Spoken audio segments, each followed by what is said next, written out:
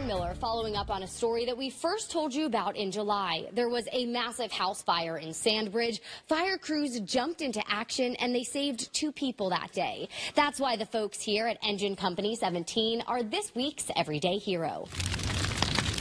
Let's take you back to those overnight hours. Call came in about 1:05 a.m. and the call came in as a fire across the water. We pulled on scene and the house was fully involved, all three stories. Master firefighter Kevin Worth has been fighting fires for nearly three decades. This was one of the bad ones, and his crew was the first to show up. He tells me a retired captain who lives nearby believed people were still on the balcony. Everything's not ABCD, you know, in our job. I went from I was being the driver to now bringing a ladder around, throwing a ladder, and, you know, starting to uh, get ready for the rescue.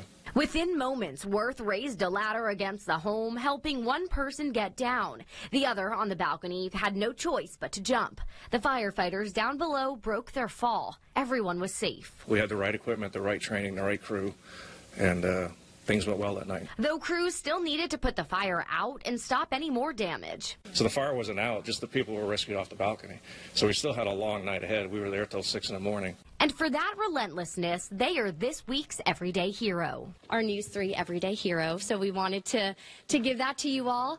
And in addition to that, our partners at Southern Bank want to give Engine Company 17 a $300 gift certificate for your life-saving efforts. Thanks to the community for supporting the fire service. You know, we wouldn't be able to have the training, the equipment, the, the safety that we have in place, and, and the positions that we have if it wasn't for people, you know, living here, pay their taxes, doing all that stuff. In Virginia Beach, Erin Miller, News 3. Well, if you know someone who is doing the right thing when no one is looking, make sure you nominate them for an Everyday Hero Award at WTKR.com. Also want to mention Engine Company 17 was also recently given the Governor's Fire Service Award by Governor Glenn Youngkin.